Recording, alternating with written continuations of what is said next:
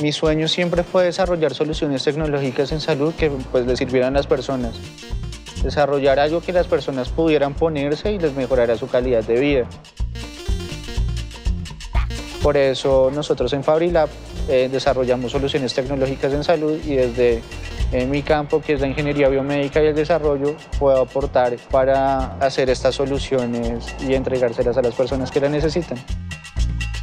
Todos tenemos una responsabilidad con la sociedad, yo creo, pues si tenemos algún don o alguna capacidad de poder hacer algo por los demás, creo que pues bien podríamos aprovecharlo también, ¿no?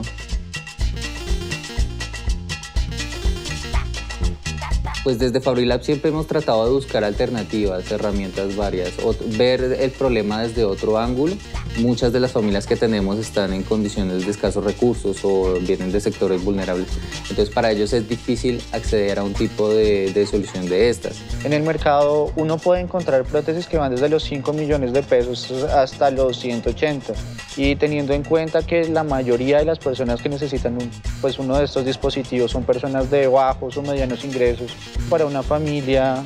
eh, pues con ingresos limitados, eh, acá en Colombia es muy difícil acceder a esta tecnología.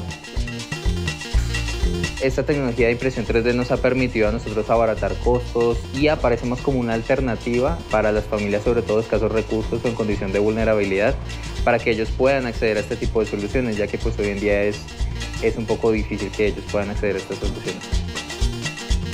pues nosotros enfocamos nuestros procesos en actividades de la vida diaria. En los niños queremos que ellos se desempeñen bien en actividades de alimentación, juego y estudio. E, ellos llegan el día de la evaluación, se les hace pues una valoración física, también se les hace una evaluación psicológica para ver qué tan idóneo es entregarles a ellos las prótesis. Posterior a esto, pues, sacamos un molde, un escáner 3D se hace el diseño de personalización dependiendo de qué tan complejo sea, según el personaje que quiera el niño, porque pues de niños nosotros siempre tenemos un personaje favorito, entonces pues él pueda sentir que pueden ser como ese héroe, ese personaje, o en el caso de los adultos, se le agrega también algún valor que, que quiera el adulto, muchas veces también alguna decoración o algo, o algo llamativo para ellos.